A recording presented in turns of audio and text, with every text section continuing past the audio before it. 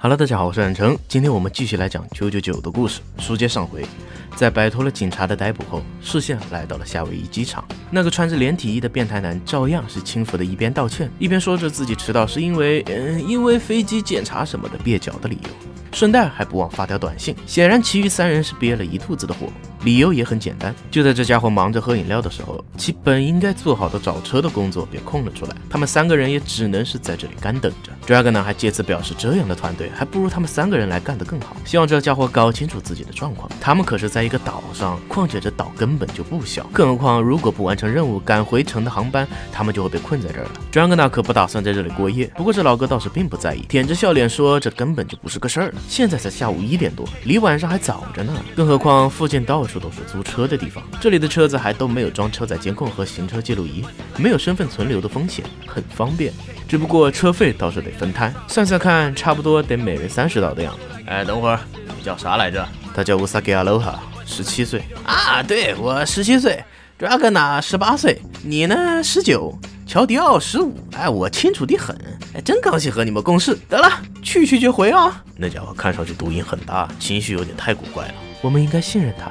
梅尔梅替他担保了，还说他是个好孩子。显然，这三个队友并没有对其产生多少好印象，但总归还是在附近弄到了辆敞篷车。离开的时候，勤劳的店员还不忘喊道：“他们正在推行促销活动，使用优惠券即可第二天免费驾驶，省去九十美元的花销。”虽然扎格纳比较在意为什么每人三十才付得起这九十元的租车费，但他们四人总归还是上路了。在时速三十五公里的山区旷野，一路狂飙，随着豪宅别墅逐渐出现在视野内。他们也终于抵达了目的地，只不过这一觉都睡醒了，却居然还不见目标的踪影。Dragona 也是被逼得没办法，把弟弟叫过来，大伙儿讨论起了对策。天气这么好，这个日本人居然一直待在家里不出去游山玩水的，这么下去，我们今天是别想有机会了。哎哎哎，那什么，我们没机会进去，可跟我迟到一点关系都没有啊！我只是说说，嗯嗯，说说。该死，我们得等到什么时候？不过呢，倒也不是完全没好消息，说说看吧，乔雕。在院子里有一个自带的游泳池，除此之外，我还发现了泳池桌边上有些饮料、玻璃杯、一些冰块、一些烈性酒，还有可纳咖啡。自然了，还有把椅子，上面挂着条毛巾以及一台 iPad。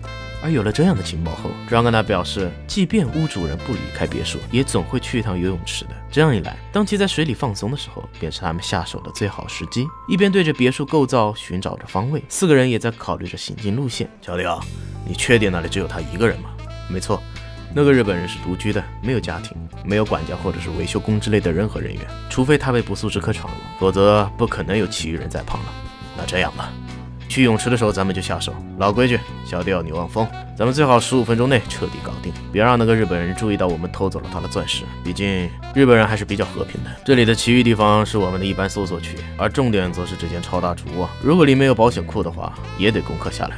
哦，我懂了。好了，把耳麦和面罩都戴上吧。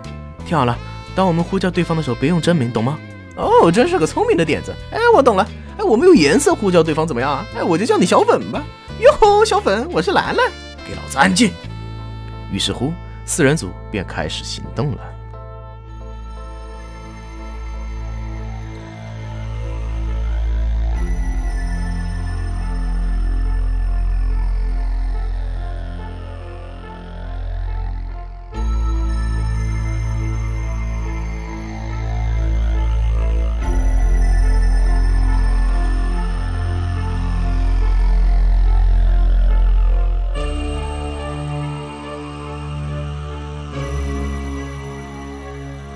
那里有个摄像头在，嘿，小粉，说你要个摄像头，你来说就对了，说我要一个摄像头，必须是你说，我自己说就不起效了。我想要个摄像头，哎，搞定。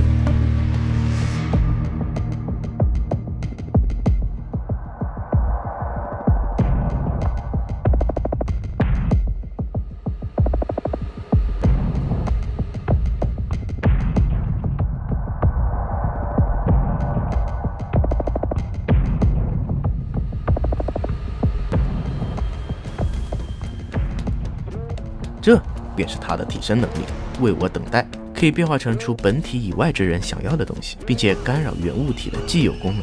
例如，现在左边摄像头拍到的才是真实的影像，而右边原本的摄像头只能录入自动修改过的虚假影像。就这样，他们连任何证据都不会留下。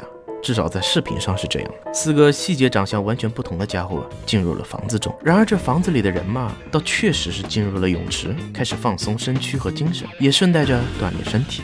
作为望风者的乔迪奥，此时也注意到了这栋别墅主人的真实身份。他这才，他这才自己时常在漫画或者是改编动画中看到的作者名称。没错，这个家伙是个名人。这也能解释为什么他要远离城市，跑到这个世外桃源一般杳无人烟的地方度假了。他是一名漫画家，而他的名字正是岸边露伴。